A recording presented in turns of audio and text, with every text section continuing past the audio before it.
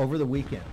The, none of these banks are going to be sleeping. They're all going to be going through their portfolios. They're all going to be ready to, to say how they're going to trade on Monday. I- We're, we're in a crisis. This And is this is not a solo thing. I happen to think it's systemic. It's- Maybe it's just one bad apple. I don't believe that. And, and, and people should be on top of this. And you guys should be calling emergency hearings and get guys in here. The Federal Reserve, the bank regulators. First How question: Why are the California? is Fed policy? That's because there, there are multiple tools. I think for- that's what he was saying. You don't need to maybe come to you guys, hey, because you They'll just go to an overpay. existing Fed. Yes, exactly. Wow, that would, they're, they're, The first question I would ask is why did the California regulators seize the bank hours before the Fed? Why was Janet Yellen, the, the Comptroller of the currency, the Federal Reserve, why was the Biden regime not on top of this? Why did they let this thing fester? When, when know Peter? Thiel, when Peter Thiel sits there the other day and goes, take, Peter Thiel's a very conservative guy and he doesn't have his hair on fire. When he comes out and says, take your money out of the bank, that's a papal bull, okay? Wow. So this is, and by the way, the Fed and, and why did Yellen not move? Why did the Biden regime not move? Because they don't want to they don't want to show the nation it's their economic policies that brought us to our knees. Okay, and that's what you're going to find out. And the question is, is this now what's happening in the bond market? Because the bond market is 20 times bigger than the stock market. Is it actually going to end up crushing? the American financial system. And I got to tell you, it's we're going to be in scary times. This is like 2008. Remember, this is the second biggest bank failure in the history of the country. The second biggest bank failure had 208 billion dollars of assets. This is- the only bigger one happened during the financial crisis of 2008. This is the 16th largest bank in the country. And this is this gonna- is not a small thing. This is going to hit crypto as well, because uh, Silver Lake early in the week. h- how much of this is? is one, one, of, one of the coins that's being used is, is uh, got Yeah. 25% of its holdings Yeah. in SVB. So Yes. now people are concerned. Crypto's concerned. going to definitely get, Yep. take another hit. Crypto uh, will take a hit. uh, uh, Bitcoin was under 20,000 today. So, so how much of this is the, these crazy valuations that a lot of these tech companies have gotten as a result of the Biden Fed A lot, of, a lot, a lot of the easy money, and, and- and they raise a ton of money, and they put this money in this bank, and now they can't get to it. So it's a necessary correction. Well, okay, so this is the question you guys are going to answer. This is 2008. To uh, you're looking into the abyss. You don't know how it's going to be. Do you vote trillions of dollars for bailouts, and the bailouts are all on the back of shareholders? Um, excuse me, of taxpayers making 40,000 bucks a year. Okay, and the elite are going to make out. So, so, so you, so you've socialized. You've mitigated their downside right? You, you, you've socialized their losses and you let them have upside. They have unlimited upside, but they have limited downside because the because the the taxpayers are going to bail it out. And that's the question that's going to come back to this Congress. And this is the big fight we had in 2009. And people kind of said, okay, okay, okay. And we ended up doing it. And we never got to the problem. We have still so many zombie financial companies. They're too big to fail uh, situation with the banks and the financial system. We never got to the bottom of it. We never landed the boil and let the pus come out because guess what? That's a brutal, tough process, If the right? ruling class does that again, people are coming with a pitchfork.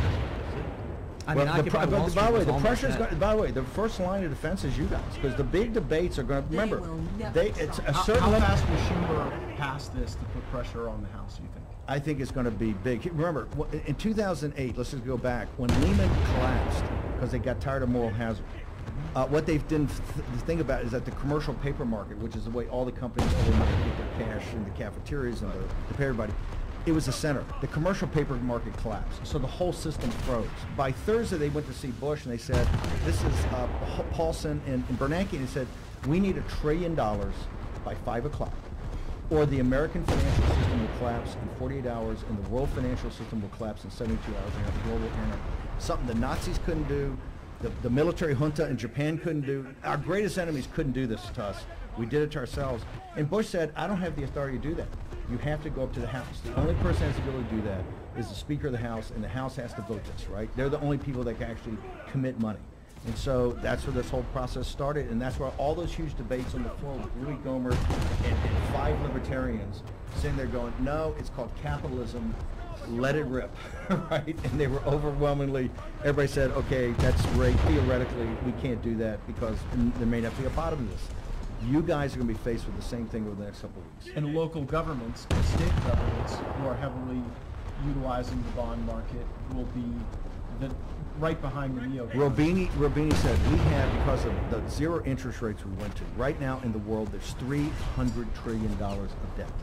That debt, at the personal level, county level, the school board level, the water level, the, the, the local government, city, state, federal government, of everywhere, it's three hundred trillion dollars. All basically predicated on an interest rate structure that's close to zero. Now that interest rate structure is at four percent for ten-year, the ten-year bond and five percent for two, remember, the night the election was stolen from Donald Trump, on, uh, on, on the evening of three November I do enjoy being on YouTube. Yeah, it's, it's, it's, it's, Well, Steve Bannon's completely wrong about that. but Continue. on 3 November 2020, when Fox called Arizona for, for Joe Biden, the 10-year Treasury was 0.86%. The 10-year Treasury days 4%.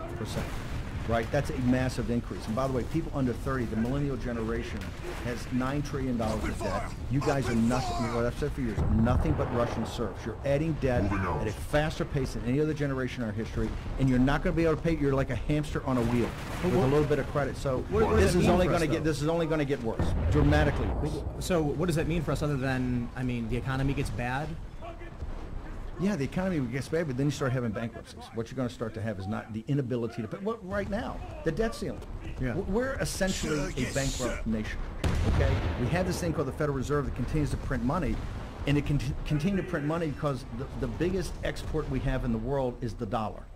Yep. Every transaction, and this is why what the CCP announced today with Iran and Saudi Arabia is so big, because they're doing 40-year output. As as the Green New Deal comes here, and we're trying to get to a net carbon zero, that Saudi Arabia and Iran are getting more important to China, the CCP, who just burn anything.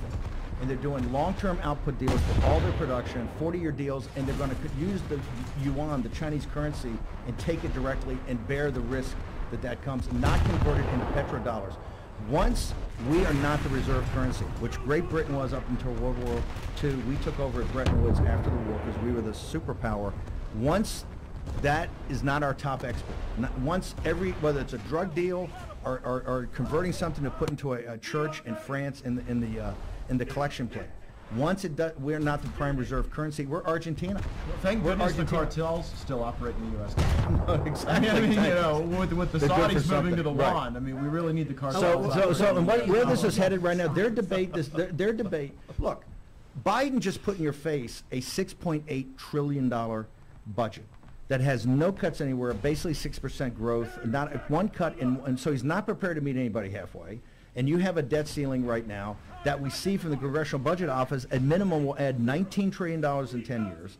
That means we'll have fifty trillion dollars of debt. You understand, we're gonna have growth, it's gonna kill growth under two percent. You- You're going to have lost a lost generation or two in this country with under two percent growth, overbearing debt, so much money to go to pay off the debt, no opportunity, no venture capital, no ability to grow the economy. Everybody uh, living like a Russian serf. That Well, is the thank, future. God- thank goodness the Zoomers are mentally healthy enough for this. Well, but hold They've on. so- developed a resiliency. They've shed frailty. But that, that, that's, that's, that's what I'm thinking. I'm, Stop, I'm, I'm stop not sure. painting such a rosy picture, I'm, I'm not sure I, uh, I'm, I'm all that worried if that's the worst case scenario. I think one thing uh, my generation and the younger generation need is to learn how to roll up their sleeves, chop some wood, and raise some chickens. One of the problems that we've had with millennials and Gen Z is they've, they've been born into a world with, with silver spoons up their asses. Everything. You, I mean, they, they want for nothing.